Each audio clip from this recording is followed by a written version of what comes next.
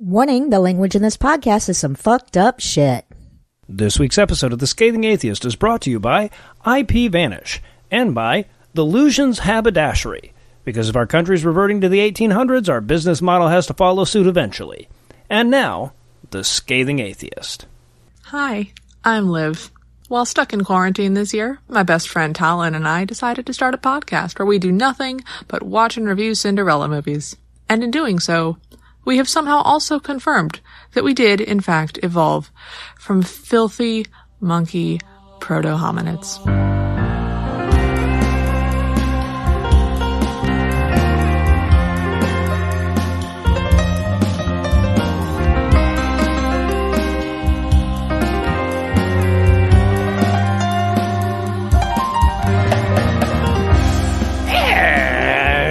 It's Thursday. It's September 9th, and don't worry, I'm not going to do the whole show solo. I'm Noah Lugeons, and from somewhere in Spain, wherever Eli is at the moment, at Red Town Blue State, this is The Scathing Atheist.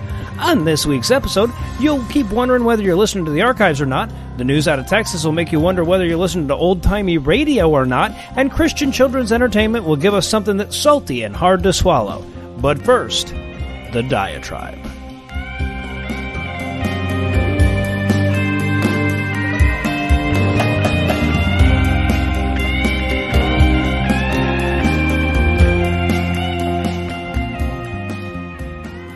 This weird thing in the Old Testament where every nine chapters or so, the Israelites will stray from the right path, start worshiping other gods, making high places, and, you know, just generally incurring God's wrath.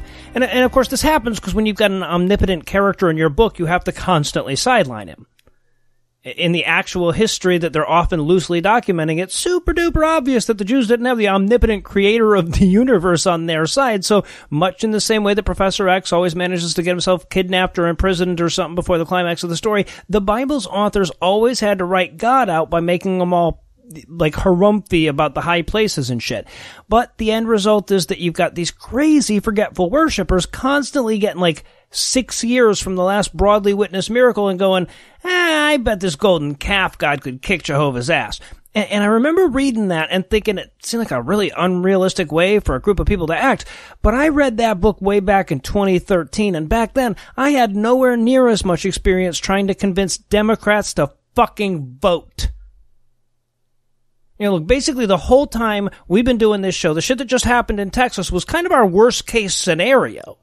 And people wrote to us even before Lucinda started doing This Week in Misogyny, asking why we talked so much about abortion on an atheism show. And our response was always the same. That's the gate that they're marching on. And when the fucking bad guys are at the east gate, we're going to be inordinately concerned with the eastern side of the city. But a lot of people had grown complacent. They saw Roe v. Wade, they saw all the slings and arrows that had withstood over the last 48 years, and they thought it was impregnable. And then, last week, it came crumbling down, and everybody who's watched them fire one missile after another at it for nearly five decades is looking at this big ass breach in the wall and going, well, how the fuck did that happen? And, and I, look, I get it. 1973 is a long time ago. Barely 20% of Americans are old enough to even remember a pre-Roe world, and, and far fewer are old enough to have been affected by it. And sure, the, the efforts to overturn it started three minutes after the decision was announced, and sure, they've been ongoing ever since, and sure, they're so well funded that they have their own movies and TV shows and shit, but their failure was so consistent that it seemed inevitable. Uh, our archives can amply demonstrate that their efforts were literally laughable much of the time, but now here we are, wondering how that shit was ever funny. And look, as bad as it is, Texas is just the tip of the iceberg. What Texas proves is that we have a Supreme Court that's willing to choose Jesus over precedent and the Bible over the Constitution. I mean, don't get me wrong. If the only thing they ever did was effectively overturn Roe, it would be plenty bad enough, but that was never the end goal. You know, not, not now that they've managed to shove their wedge issue into the gate, the real goal is going to come pouring through. And that goal is nothing short of theocracy. And, and it's not like I have to retreat to some conspiracy theory to defend that claim, right? It sounds hyperbolic, but they say it out loud to anybody who cares to fucking listen. They want their religious beliefs to take precedent over the will of the majority. In fact, at the extremes, they'll tell you it's the nation's only chance at fucking survival. And as insane as it is to try to govern towards the favor of an imaginary deity, that is clearly what's animating five ninths of the Supreme Court right now, as well as half of America's major political parties. This is gonna get worse. We're gonna be fighting against the Supreme Court as long as you and I are alive, most likely. Hell, even if we're lucky enough to outlive this iteration of it, I can't imagine anybody listening is gonna live long enough to see all their damage undone. And I'm sure if Heath were here, he'd be happy to sum up the reason for that in either six or seven words, depending on whether he uses the contraction or goes with should have. But that's where we are now. Right? There, there, there are two other branches of government that can stand between them and Gilead, but to do that, we need to rely on Democrats voting. And, and I can't think of many propositions I'd be less comfortable staking my future on. Look, I, I'm not trying to depress you, and I apologize if this comes across as hopeless, but I have this terrifying vision of the fucking midterms and all the apathetic bullshit we're bound to hear about the promises Biden didn't keep and the bills this Congress didn't pass and the issues the Democrats didn't prioritize. And I can already hear us screaming, don't you remember 2016? Just the same way that we screamed, don't you remember 2010 back in 2016? And don't you remember 2000 back in 2010? And don't you remember remember 1988 and 2000, and don't you remember 1980 and back in 1988? You know, maybe I'm wrong.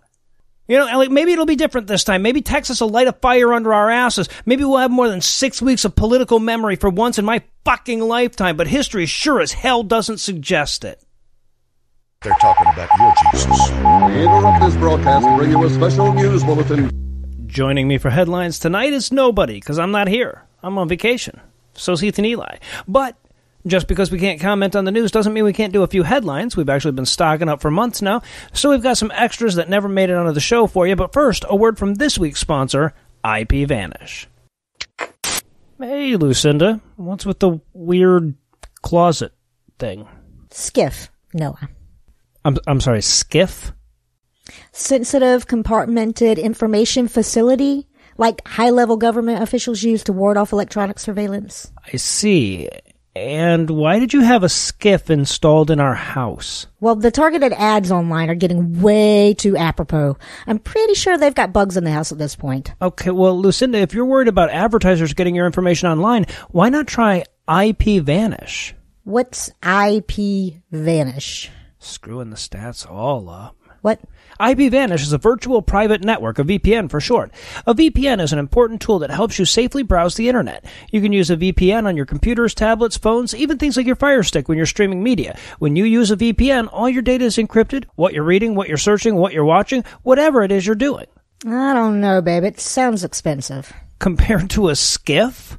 I bought it used from Scott Pruitt. He let it go pretty cheap. Okay, no, that makes sense. But for listeners of our show, IP Vanish is offering an incredible 65% off their annual plan, equal to six months free somehow. It's super easy to use. You turn it on with a click of a button and it runs seamlessly in the background, helping protect you while you're browsing the web. All right, no, I'm sold. How do I sign up? Just go to ipvanish.com slash scathing to claim your 65% savings. Their annual plan is just $44.99 for the first year with our exclusive discount. This is the time to sign up. With our discount and their current promotions, you can get a VPN for 65% off their usual offering. IPVanish is the best of the best, even rated 4.7 out of 5 stars on Trustpilot with more than 6,000 reviews. Remember, that's ipvanish.com slash scathing to get the deal and start protecting yourself online. Will do, but I'm keeping the SCIF. Are you sure? It, it takes up so much space. Given the way the Supreme Court is going, I I feel like I'm going to get spied on pretty soon. So, Okay, no, yeah, actually, that makes sense. yeah. And now, headlines from the past already in progress. And in bi bisexual news, a Christian has once again tried to explain why gay people exist. And until Gotham installs that spotlight with our logo, that is our bat signal here at the Scathing Atheist. Mm-hmm. So we're going to talk about it. Now, the author in question is the editor of the Gospel Coalition, Joe Carter, who, by the way, looks like a chia pet trying its very best to act straight. He weighed in on the latest Gallup poll that says 5.6% of Americans now identify as LGBTQ, as opposed to 3.5% in 2012. That's right, everybody. Nine years, 2.1% gayer. Nailing it. Well, 2.1 percentage points. The group got 60% bigger. Yeah, there you go. I, I want to use whatever phrasing makes Joe Carter extra terrifying. That's how it works. 60%. Every gay person from 2012 is now a gay person plus a second gay person with like their legs chopped off at mid thigh and they're coming for you. Yeah, they are. They are. But it's so weird. It's like how it got more socially acceptable to be an atheist. There were suddenly more atheists. Like all those people that weren't atheists and believed in the Christian telling of the creation of the universe suddenly stopped believing in God when it became more socially acceptable. It's like that. Right, right then. That's Yeah. weird. Well, I mean, I think the atheism thing was mostly our podcast. No, Oh, let's not okay, right. No, confuse yeah, that was us. That was us. You're welcome. But of course, Joe Carter knows the real reason behind this change: social contagion. Wait, what? Yes, quote He'll explain. social contagion. quote social contagion and normalization of homosexuality have combined to make the younger highly susceptible and credulous generations believe they should identify as lgbtq What? Okay, he won't really explain. He'll say something. social contagion is the only adequate explanation for why so many younger people especially women claim to be bisexual Oh. or bi-curious in such a short time Yeah, the only possible explanation. yeah, that tolerance contagion that we created in a Chinese lab is finally spreading. Our plan Yeah, we're is getting it. Coming together. Yeah, I just, I, I certainly can't imagine any other reason that more and more women would find a life devoid of male companionship appealing. Why don't you explain it to us more, Joe? Tell us what the ladies are thinking some more. Oh, but he does manage to get wronger. It's true. It's not just social contagion, he explains. It's also porn. of course it is. Really listen to this quote. I'm interested. He's got my, he has my attention. Go. this is this is really That's, good. that is your key word, though. That's, that's like Alexa to my smart speaker. Porn to Exactly. Boobs. Yeah. Okay, I'd like to say something All right, now that I have your in. attention. quote, for years, the most popular search term for pornography for women has been lesbian. This is a bit of a misnomer, however, since most of the porn produced for this category is by women who also produce heterosexual porn. Wait, End quote. what? doesn't know how porn works. yeah, well, like yeah, okay. Look, lesbian porn is way less likely to suddenly have some weird objectifying, degrading shit pop up midway through your masturbation, dude. That's it. I solved it.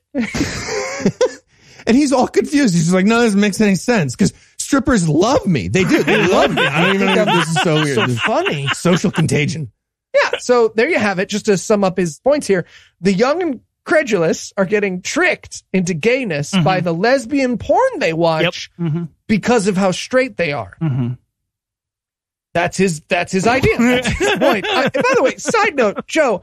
Hey, buddy, if you can get tricked into gayness, you're gay. Yeah. I mean, look, good for you. Live and let live, but you're a gay person. And, don't get me wrong, I'll pretend to be tricked for Thomas Smith from opening arguments because he needs to stay married. But we both know what's going on, Joe. We both know what's going on. Next up in headlines, we have a story about Marjorie Taylor Greene. you might remember her as the QAnon supporting member of Congress who's banned from all committees. Congress decided she's so stupid and vile that her entire job is being present, like Tulsi Gabbard is not. You also might remember her as Ann Coulter after being sanded down for safety. Got all the Yeah. sharp mm-hmm. edges. Child safe Ann Coulter. it's an OSHA thing. Well, despite being removed from any congressional topic with a worded title, she still managed to confirm that her existence is a hate crime by herself and the entire Republican Party Yeah. when she posted an anti-trans bigot sign on the wall outside her office for the express purpose of making Democrat Congresswoman Marie Newman see it. Because Newman's office is across the hall and Newman's daughter is trans and Marjorie Taylor Greene's a piece of garbage. They're bullying people's kids now. Yeah. Right? Like, if you're a Republican right now, you gotta be gearing up for the moment where you're gonna have to defend competitive puppy kicking. yep. Right? Like, like, like the pundits on the right have at least dusted off their pro puppy kicking arguments at this point. Yeah. I'm just saying, if you put that sign where my trans child could see it, they wouldn't have to kick you out of Congress. They wouldn't have to. It's, it's, it's, I have no idea what Eli means by that. So, in fairness to Marjorie Taylor, who happens to share a first name with Eli's dog. In fairness to Madge Taylor, it was the Democrats who started it. They started the ah. fight. And in fairness to my dog, she is named after a Game of Thrones character. Well, yeah, who, Um, who raped a child. yeah, not when she it. was You named. Not when she was named. Good work.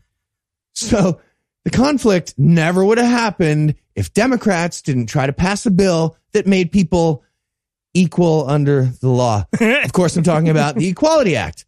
And when you make people equal under the law, especially when that includes people of any gender identity or any sexual orientation, that is a direct attack on the God of the universe. Sure. So after the House voted to fuck God and pass the bill, Marie Newman decided to put up the transgender flag outside her office in solidarity. And that's when Madge Taylor Greene responded with her bigot spite sign. It reads, there are two genders, male and female. Trust the science! Exclamation. Yeah. Yeah, fucking Science. Jewish space laser lady would like everybody to take the science a little more seriously. yep. and she got the fucking pseudoscientific argument wrong. Right? The- Shocking. The, pseudoscientific argument is that there are only two sexes, not Yeah, genders. You lost her. Right. That's like if you believed that Eastern Standard Time is the only time zone, and then you put a sign outside your door that says there is only one clock to prove it. Trust the clock science, idiots. Read a clock. So obviously, Madge Taylor Greene is disgusting, but we did get to watch her fail miserably at her bare bones job like she's a cop on desk duty right now. yes, we did. Yes, we did. She did. started by arguing against the bill, claiming that it would protect pedophiles and destroy women's rights. Apparently, she's a big feminist right now. She's big into Yeah. women's rights. Regardless, she knows the Republicans don't have the votes to block it. So she tries to adjourn Congress. what the fuck was that?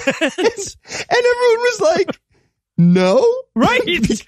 Because of the votes that you were just thinking about before you panicked and tried to call a timeout. Yeah, you obviously knew the states. So yeah, turns out the blue votes add up the same for a bill itself and timeouts on that bill by Marjorie Taylor Ah, curses. Yeah. Curses. So bottom line, fuck your face. Fuck your stupid claymation Ann Coulter face in the face. Yeah. And in lowest shaman denominator news tonight. It just- thank you. fantastic. I'm super proud of that. I woke up in the middle of the night with that one just in my head. I was like, oh, this is good. Shaman denominator. I'm sorry. Yes. Sorry, Lucinda. I, this is just really good. I'm writing sorry, this Sorry, Loki. Yep. Lucinda, Lucinda, wake back up. Remember, shaman. It's really good. I'll tell I you. didn't tomorrow. have a pen, so you have to. I'm just going to call my, I'm gonna leave a text for you.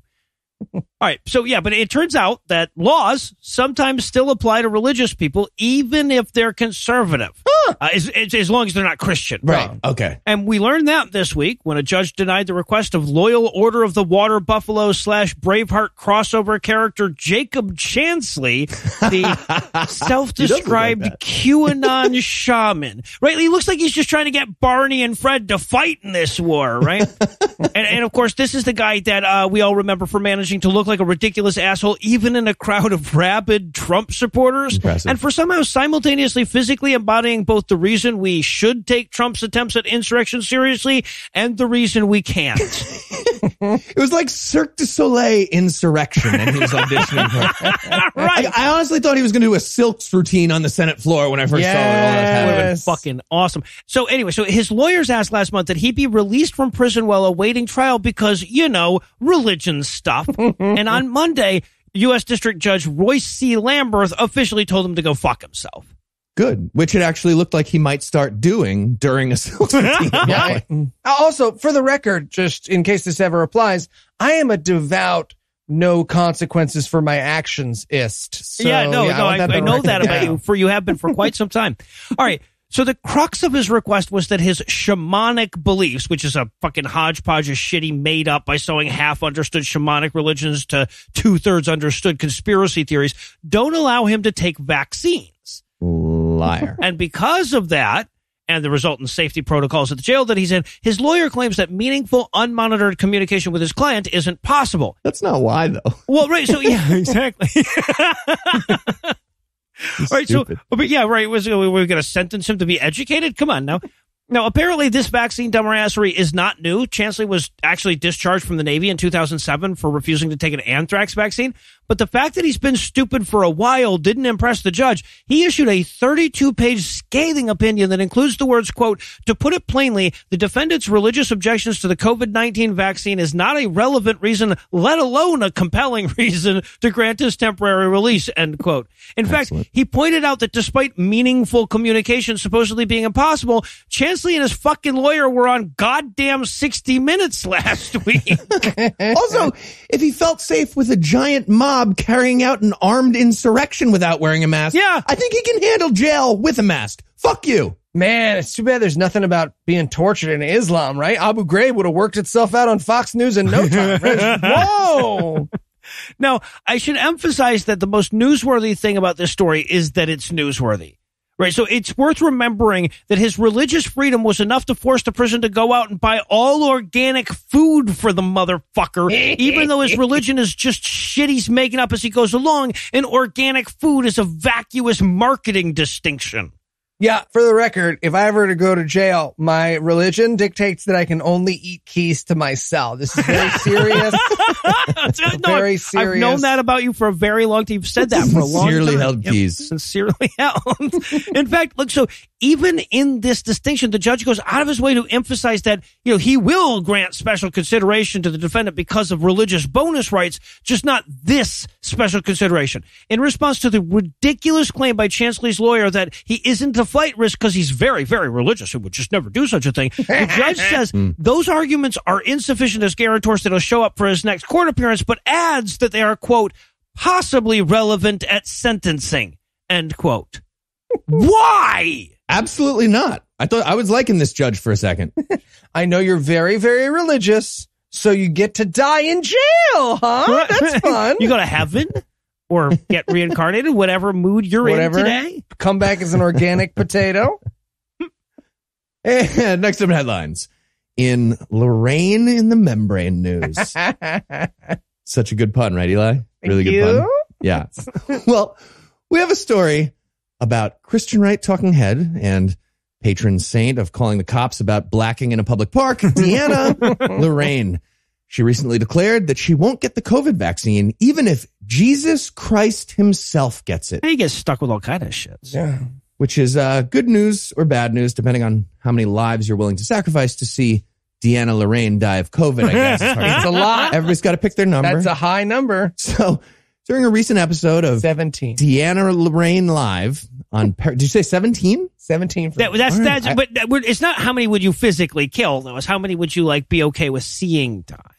Oh, It's higher now, right? higher than 17. Yeah. Okay. I'll take the over on that too.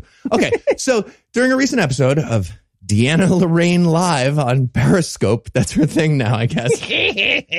she announced that she's been dressing up in medical scrubs, pretending to be a doctor or a nurse, What? and going into businesses without a mask to argue with people about the science of COVID, pretending like she's an authority because of her scrubs. How did it get worse? And and yet there's some conservative out there going, "Oh, I see, but y'all don't mind when Jill Biden does it."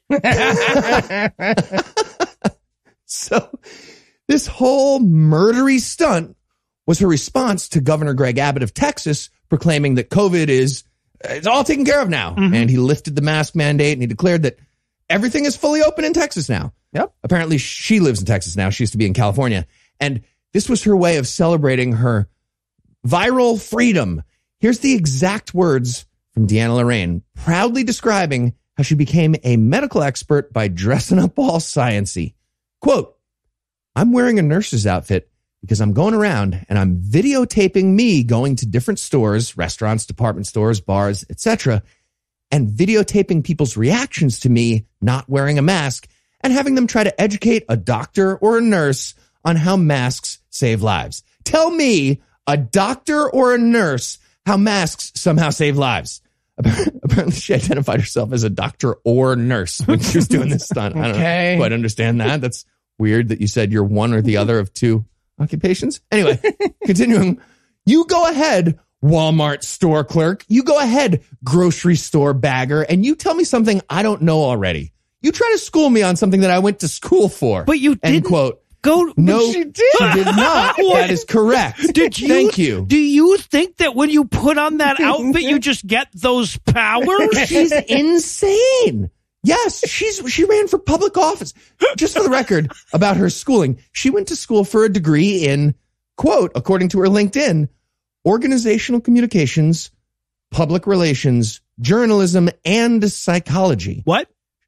She has a BA in whatever the fuck that department is that has all of those things. So, look, I okay. So I'm sorry. I know this isn't the point, but um, did she say videotaping? Videotaping. Yes. When is she? Did her video have like January first, two thousand chirons in the bottom left? Or something? Okay, but this stunt proves the opposite of whatever Yes! her point is, Yes! right? Yes, it does. She's dressing up as someone with expertise to pretend expertise agrees with her to prove the point that all the doctors and nurses who actually are doctors and nurses disagree. She might as well walk around with a New York Times that she wrote over in Sharpie that says COVID is no big deal and be like, I'm sorry, grocery store clerk. Are you arguing with the New York Times? Well, she might as well do that in the New York Times headquarters and be like, "Are you arguing with the Sharpie over your?" Th-? Jesus Christ! And just a little extra context about Deanna Lorraine, in case anyone missed it. She announced last September that women should all be voting for Donald Trump in the general election because he's an alpha male. Yep. Just a reminder. Less than a week later, after she said that, that alpha male needed to be injected with a muddled Dutch fetus just to keep him alive. and then he lost by 7 million votes to beta Joe Biden. Right. That's what happened soon after. Yeah. You might also remember Lorraine for getting 1.8% of the vote in the nonpartisan primary to represent California District hmm. 12 in the House last year. And she also famously spent her entire career not being a doctor or a nurse. I think that's the most important thing. To, Okay, to but that here. said, we now know that Lorraine is okay with impersonating medical personnel to make a political point. So, next time she has a doctor's appointment, I have a hilarious prank in mind that I think we're all going to agree is very deserved. I think we're going to need to get it on Betamax too. We're gonna Betamax it. no, man, It she will hit me in the be- jaw. captured. And on that note, we're going to close out the headlines for the night. Pre-recorded Heath, pre-recorded Eli. Thanks as always. Jumanji. And when we come back, we'll see just how unfamiliar Christians are with the way that books behave.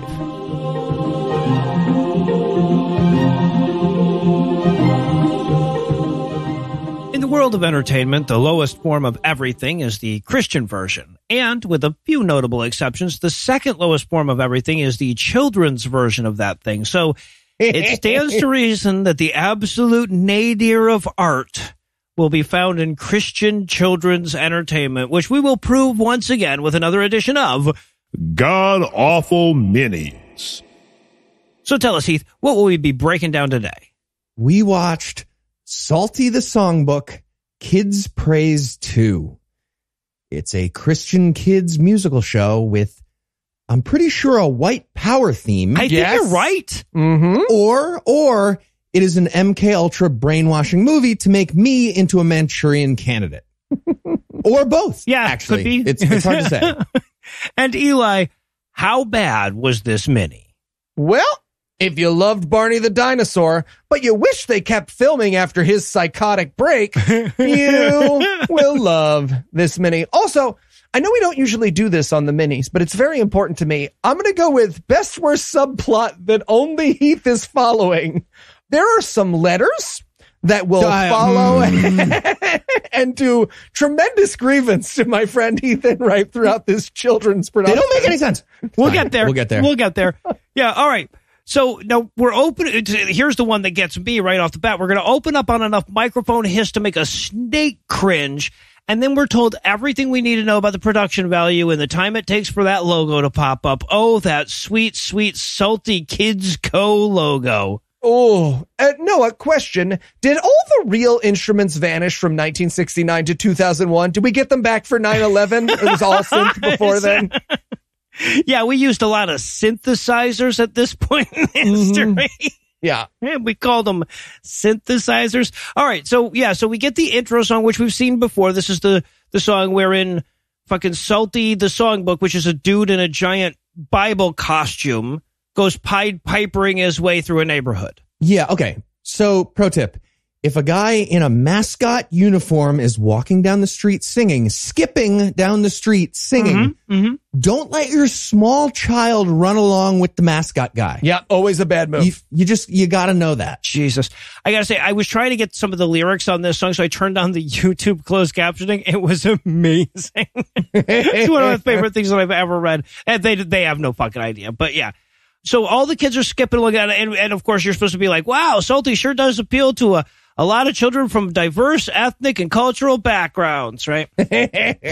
I also I forgot so many things about this theme that I love. The first is it just seems like several children's shows are trying to start independently at the same time. The kids are singing a song, Psalty singing a song, there's background trombones Yeah. doing their own thing. I also forgot that they include in the theme song the part where Psalty almost eats shit because he's in a giant book costume in the forest. Well, also the one where he runs down the slide. Yeah, Right? That's where I expected because, like, I have seriously considered buying this IP just so we could reshoot this intro, have him eat shit on the way down that slide, and just splice it into all the old shows. Yes, they can't stop you legally. Yeah, Psalty stops singing the theme entirely at one point because, yeah, he's walking in giant mascot shoes and comes so close to eating it a bunch of times. I was rooting so hard. Yeah, he's just he stops singing and goes whoa whoa whoa whoa whoa while the kids continue the fucking song. Yep. I'm a little shut the fuck up. I'm trying to concentrate. Yeah. By the way, the lyrics here I'm a little praiser and a hallelujah raiser, Yep. and I stand about three feet tall. And god damn it, this got stuck in my head for like, uh, conservatively two years when we watched this last time. Yeah. and it's happening again right now. It's in Right. there. Yeah. Dear listener, do not watch this video. Do not watch it. I've been Do doing it. it ever since. It's Do it. terrifying. Psalty is your god For your own sake. I switched it to six feet tall in my head and I'm singing about myself now. It's really bad.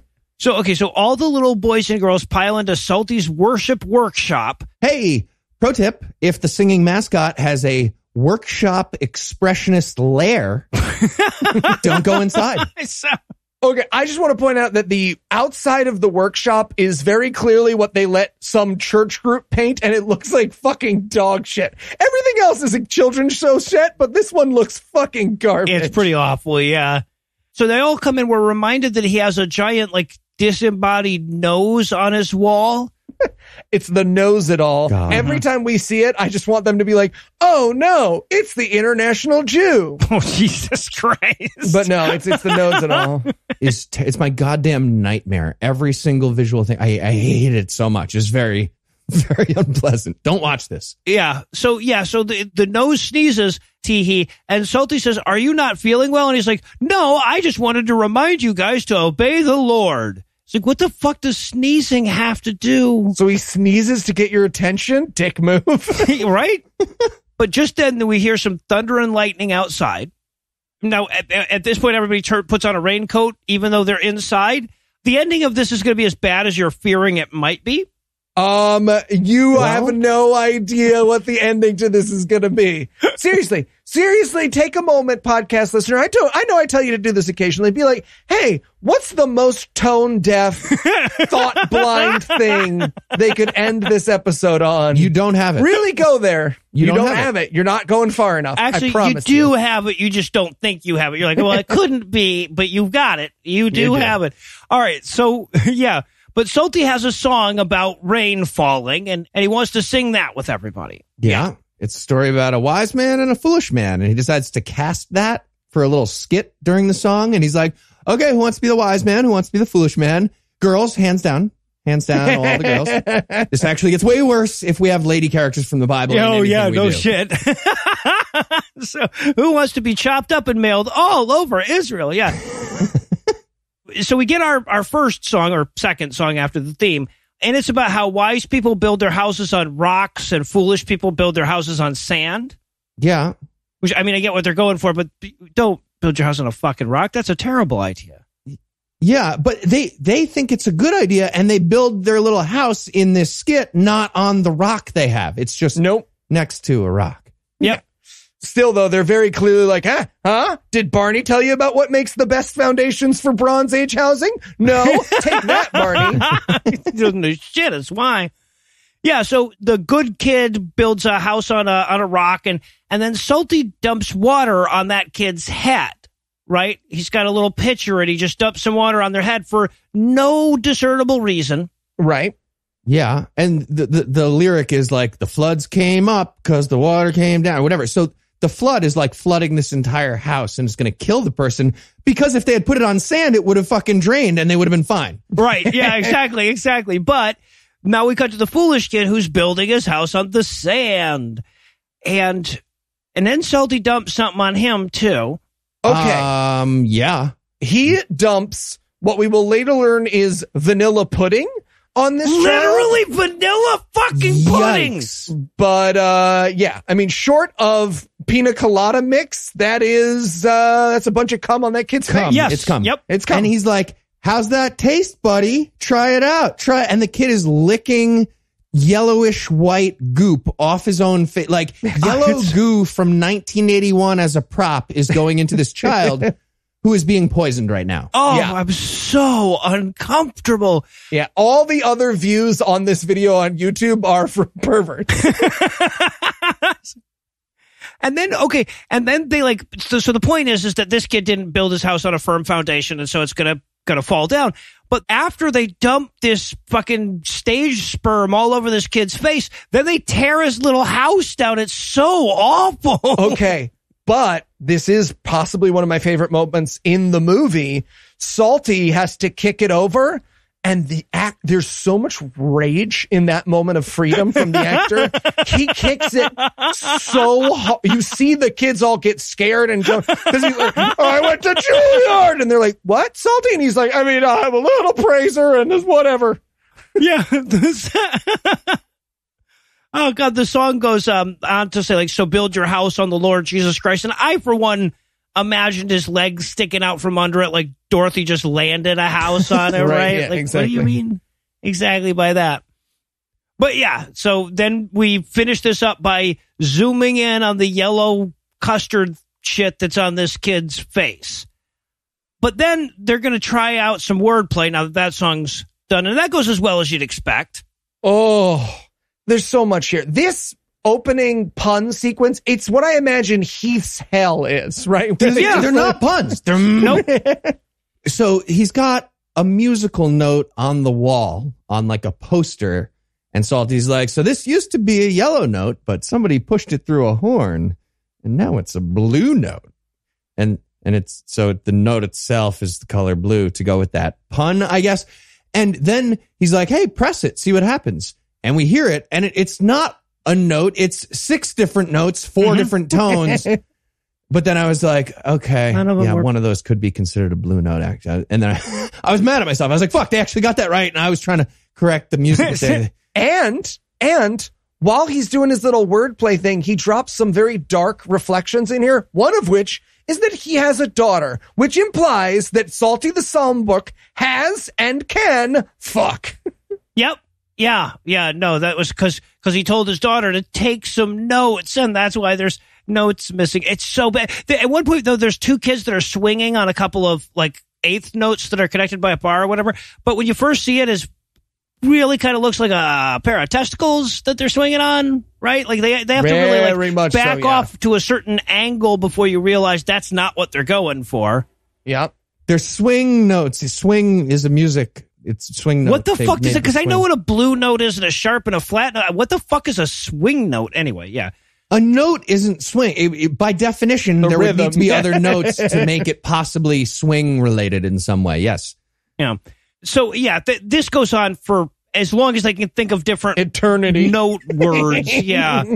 And also we should point out that there's like when when he makes a joke, there's these disembodied mouths that'll come up and laugh so that you damn The it. laughing mouths. Mhm. This is my clockwork orange torture. This is this is what I was talking about with the MK Ultra thing. It's terrifying. Yeah, no, it's a disturbing image, but they keep doing it over and over again. No, no, no, we made a funny. Trust us. We Yeah.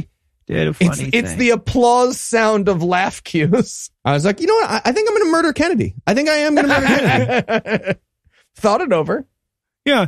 But this ultimately all leads into him saying, yes, when you're making music, you can choose any note that you want. But one thing you should always choose is to follow our leader, Jesus. Yeah. That's the segue. I wrote as a joke in my notes. Speaking of choices, homosexuality, and I was so close, so close, my friends.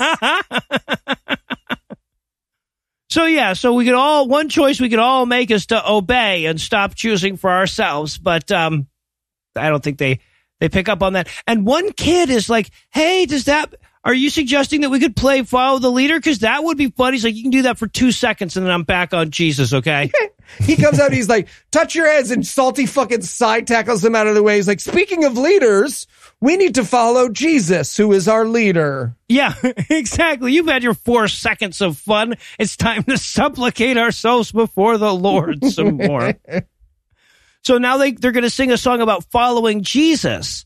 Which is also what the fucking last two songs were about, but okay. Mhm. This is also where they introduce the letter blocks. What? Okay. The- there's l- blocks that have letters on the side, and right now we see them L L R A S R. There's a heart on a block after that, and then also the letter I. And I was like, I must figure this out. I don't know why. Why do I care so much? But I was like, is this the Konami code? Left, left, right? No. Okay, it's No, not the Konami. so then I'm trying to spell stuff out. I'm doing jumbles. It's like, okay, L R, like left, right. L R. Heart Liars? That doesn't make sense. God. So yeah, so they sing their little song. Uh, the lyrics are "Follow the leader, Jesus Christ the King. Follow the leader, everybody sing." That's how hard they're trying. Yeah, and they keep doing all the like God commands, but they don't do any of the fun ones. They just do like read your Bible. I was like, "Where's the scare away birds before you take the eggs, or you'll be put to death?" Huh? Cowards. I don't remember any of this because I was just like, if they don't explain these goddamn letters, I'm going to lose my goddamn mind.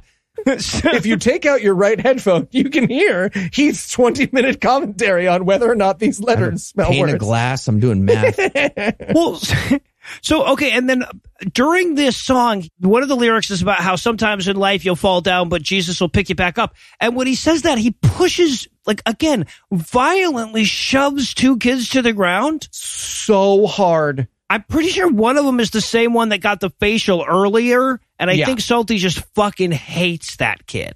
Yeah, one hundred percent. That's his real son, and he's working through some shit. or he's like flirting with that kid and like pushing him down on the Okay, yeah, Yeah, right, sure. right, yeah. I love too because the kids, they're, as they're doing this song, they keep doing this thing where the kids are standing on the blocks and they'll walk around in a, in a circle and get back on the blocks. At one point, the kids forget how the blocking goes and they just stand in the background arguing about it for like thirty seconds. but the show must go on, I guess. They probably just wanted to understand what the letters meant. Whatever. That's the argument they're Yeah, having. right, yeah, right, right. So that song wraps up, and we cut to Psalty counting down for hide and seek. Oh, these kids fucking suck at hide and seek. By the way, they're all Yeah. just standing like next to a lamp. Yeah, no, they're terrible. Also, just one more pro tip. whip those kids' asses. If the mascot with an expressionist lair that you're now in closes his eyes for 10 seconds, run the fuck away. You have Yeah. 10 seconds now. You Yeah. go away. you hide further. But we can't, but the kids can't get a single goddamn game in around this preachy motherfucker because just as they're trying to play hide and seek, Buford Bugle Lamp shows up and he's like, well, you know, hide and seek sure is fun, but you can't hide from the judgment of God. I we cannot be clear that this is without exaggeration the message. They will introduce four puppets and all four puppets will be like, no, you cannot hide from God. He is omniscient. He sees everything you do. He knows everything you think. There is no hiding from him. Yeah. And this is the second time that the kids were just about, they were starting a game that Yeah. they were enjoying for three seconds. And then it was like, fuck you, God, Jesus, you can't hide. He's coming for you. Yeah. yeah, never play hide and seek with Jesus. He can see through the fucking holes in his hands when he covers his eyes, people. Hello, he's Yeah. cheating. Yeah. This is also where we meet Bertha Bureau. Okay. Yeah. So, um, we didn't describe anywhere near close to the most offensive thing that's happened in this scene yet, or this entire Nope. movie show. So yeah, we meet Bertha Bureau, and she says, "My maiden name was Venetian, birth of a nation, right? Right. Birth of a nation. They made a birth of a nation pun, uh, presumably to entertain the parents that they knew they were selling to. I really wanted the camera to cut over to like one of the black kids who's just like, yikes. Yeah. Right. There, there is a little black girl there. I wanted her to just destroy this bureau with an axe immediately after this comment. Yeah, to be clear, they just made a joke about a movie that was so racist that the 19 teens called it out for being too racist. Jesus fucking Christ. But yeah, but just as we're all trying to catch our breath from that, the concertina twins puppets come in and just like, what we're trying to say is Jesus knows when you touch your dick. That's what we Oh. want you to know. My wife was furious that they besmirched the fine name of concertinas everywhere. I was distracted from the rest of the scene because she did like a fucking Ibsen esque monologue about the vengeance she would have on Psalty the Songbook. Yeah, but of course they have a song about not playing hide and seek with Jesus. Oh my, this song is what a clown should sing as he chases you through a hall of mirrors with a kitchen knife. it's such a terrifying song. I wanted one kid to mess up, get hit by lightning, and then they all just start like crying and keep singing. God loves if I wrote this song as a parody, people would be like, little broad, Eli, little broad. Yeah. Also, just a reminder, we're about to hear a song from Bertha Bureau, nay, Birth of a Nation. So I was like, ah, are they going to do a minstrel show? I'm not surprised if they do a minstrel show. And then you look at Psalty and you're like, okay, he's, Oh wow. he's a fucking color switch away. He's all blue. He's a color switch away from literally minstrel show makeup with like the eyes all Yep. colored out in white is gross. guaranteed there's a first version of Psalty where he is just in blackface and he's like, what? Bibles are black. And then, you know, an angry, teary fight later, they settled on blue. Yeah, right, right. Oh God, yeah. So the this song goes on like it says, "Don't play hide and seek from the Lord that loves you," like ten to the twenty third fucking times. And the last line of it is, "You can't hide from God," which is way more of a threat than kids' songs usually end on, in my experience. I'm God and I'm fucking everywhere, motherfuckers. Boop. Kids song. Yeah. It's Yeah. ridiculous. Okay, and so when that song ends, another little girl comes up, kind of seemingly a little disturbed about how God watches her pee. Yep. Right? And she's like, uh, does God watch me poop? And Psalty's like, oh yeah, that especially. That especially. Does God collect bulk metadata? 'Cause I don't Yeah, right. feel comfortable. Would it make you feel any better if your friends dressed up as living flesh? Oh. And threatened you That'd be great. specifically? That would be okay, great. well then, good news. Yeah, another great masterful segue. A bunch of the kids just show up and they're like, Hey, Psalty, apropos of nothing, I dressed as an eye, she dressed as a hand, he dressed as a foot, and they dressed as an ear. Do you have a song about that, maybe? Okay. There's a kid dressed as a giant disembodied eyeball here. Yes. And the eyeball costume is enormous and way too fucking heavy. This kid is, his neck is about to snap for the rest Yeah, of the he song. can't breathe. We watch him die in the costume. this is a snuff film. Also, there was a block with a letter E now too, and I was like, okay, L L R A S R heart I E, It's, heart ralliers. That's that's nothing. See, I What? started using the heart as a blank earlier and I got ralliers, but yeah, yeah. Oh. So yeah, but luckily it just so happens that Psalty does have a disembodied ear song, but first they'll have to perform the invocation of the circle of imagination. they have to teleport for the song. yes. Yeah. Yeah, apparently they have a circle of imagination that'll teleport them anywhere in the world. So they go to the park down the street Yep. and then they sing this song. Now this song, this is a like, don't tell mommy what happened here today song, right? No, que- the Mm, Pope yes. scratched this song out. Yeah, so- okay, so the, the the eyeball comes up, and the the song lyrics are like, "Be careful, little eyes, what you see." yeah, be careful, little ears, what you hear.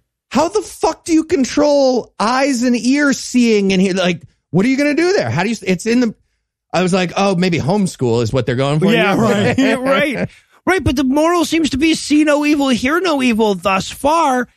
And then it goes because there's one of them dressed in a foot, and it's like, "Be careful, little feet, where you go." And I'm like, that's not a God thing. Like atheists have to do that too. Like well, anybody can step on a fucking Lego. Come on. Yeah.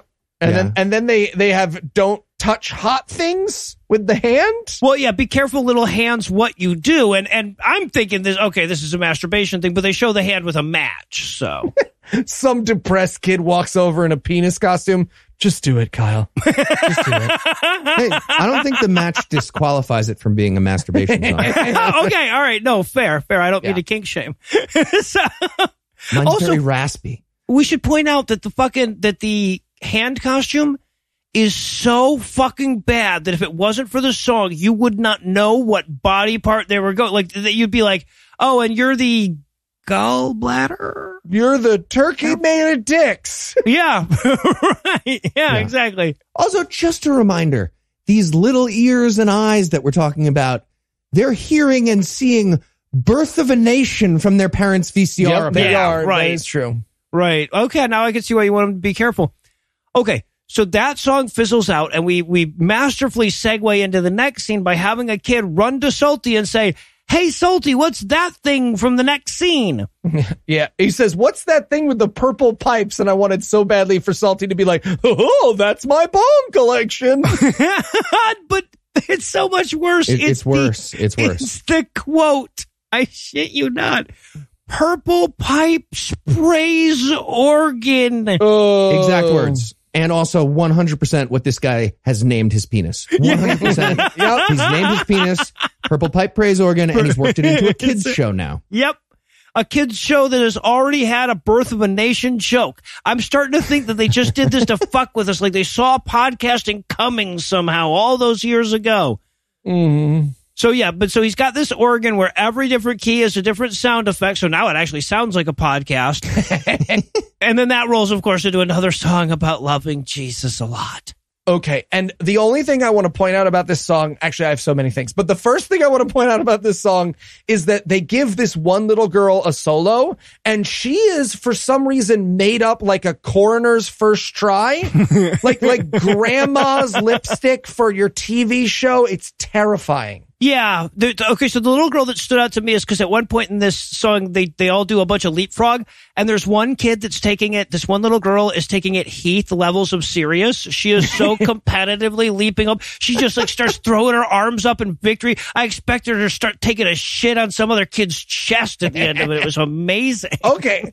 I was taken in by the somersaulting. They all do those shitty somersault on your neck that you could do. If I tried to do a somersault like this, I'd be in the hospital for Yeah. eight years. Yeah. Uh, the benefits of youth. And I was focused on the blocks with L, U, and R now. so it's L L R A S R I E L U R heart. And I was like, I, I heart lulls rarer. That's nothing.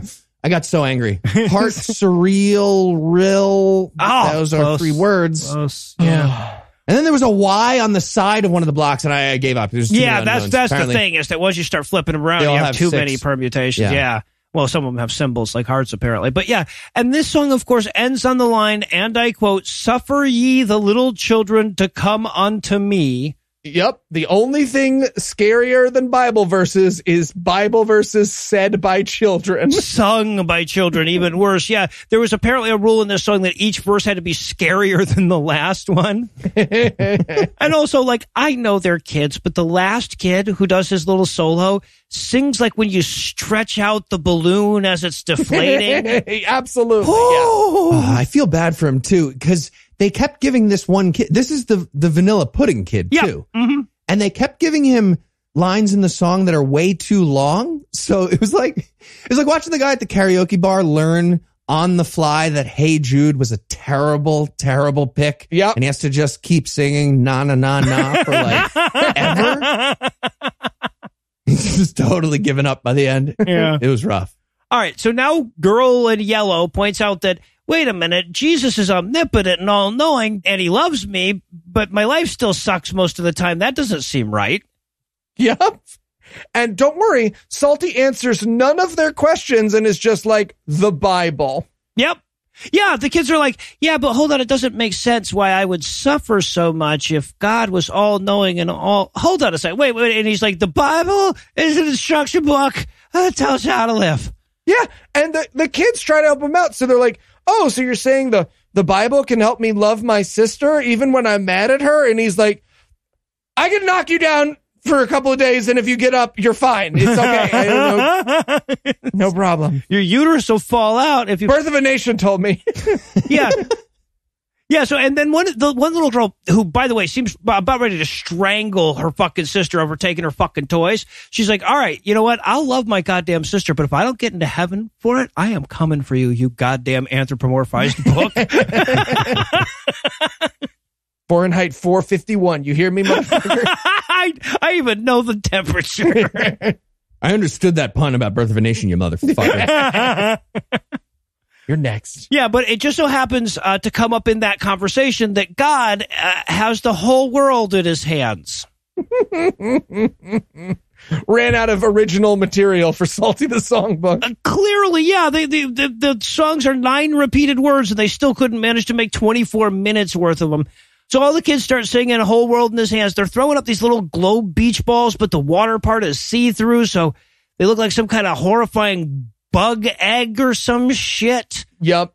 Yep. Absolutely. Yeah, and there's there's a tiny little version of Psalty the Songbook here, like fucking Yank you. Kuato. It was Yes. terrifying. That is the child he talked about earlier, maybe? Yeah, okay, possibly. Unclear. Also, I and I have to point this out, like Psalty goes the fuck off in this one, right? As though the actor is showing off that he can out sing these little kids. Like, cause I mean, yeah, man. of course you can. Whole world in his hands. I was like, if Psalty goes into an Aretha Franklin riff at the end of this thing, I am converting to Christianity. This is the season finale. All right, but so then we kick off the final scene with a reprise of the kid that got the sperm dumped on him earlier. Okay. This is so fucking insane. Yep. They run over to Psalty and they're like, Josh is building his house on the sand again.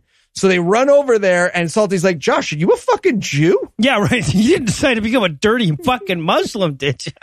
And no, no, Josh is like, no, I want the goop. Give me the goop all over my face. That's exactly what happened. Okay.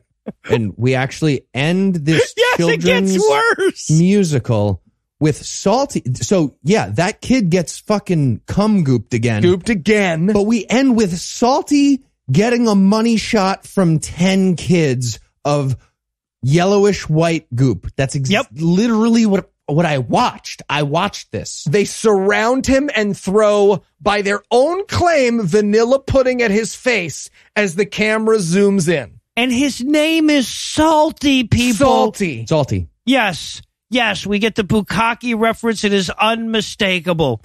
So, uh, any any moral to the story that you guys could tease Absolutely out? not. Uh, Psalty's not a cum dodger. so, okay, that's good to know, though.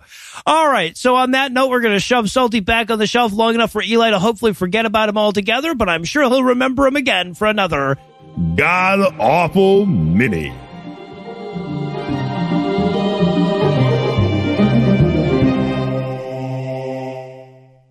Before we dissipate tonight, I want to remind you that vacation or no, we're still going to have all new stuff for you every week this month. Anyway, that's all the blasphemy we've got for you tonight, but we'll be back in 10,022 minutes with more. If you can't wait that long, be on the lookout for a brand new episode of our sister show's Hot Friend Got God Awful Movies, debuting at 7 a.m. Eastern on Tuesday, and an even new episode of our half sister show Citation Needed, debuting at noon Eastern on Wednesday. Obviously, this show wouldn't be able to hold its head up high in the list if I neglected to thank Heath Enwright for being as solid as a rock. I need to thank Eli Bosnick for being a different but also good consistency. I need to thank the lovely and talented Lucinda Lugeons for putting up with me for even more than normal this past week. And I also want to thank Lib for providing this week's Farnsworth quote. If you'd like to learn more about the Cinderella podcast, make sure to check the show notes. But most of all, of course, I want to thank this week's best bipeds, Night Owl 1090, Wild, Matt, Jessica, Don't Ask My Name, AJ, Jonah, Justin, Jeff, and Tanner. Night Owl, Wild, Matt, and Jessica, who are so sexy Potter Stewart isn't sure if he'll know porn when he sees it anymore. Don't ask AJ and Jonah, whose IQs have more O's than a phone sex operator, and Justin, Jeff, and Tanner, whose cocks are so massive they have Lagrange points. Together, these nine naughty non-believers nudged our net worths northward this week by giving us money. Not everybody has the money it takes to give us money, but if you do, you can make a per episode donation at patreon.com slash scathing atheist, whereby you'll earn early access to an extended ad-free version of every episode, or you can make a one-time donation by clicking on the donate button on the right side of the homepage at scathingatheist.com. And if you'd like to help, but fuck if you're going to give money to people who take vacations, you can also help a ton by leaving a five-star review, telling a friend about the show, and following at PIATPod on Twitter. All legal services for this podcast are provided by the law offices of P. Andrew Torres. Tim Robinson handles our social media, and our audio engineer is Morgan Clark, who also wrote all the music that was used in this episode, which was used with permission. If you have questions, comments, or death threats, find all the contact on the contact page at scathingatheist.com.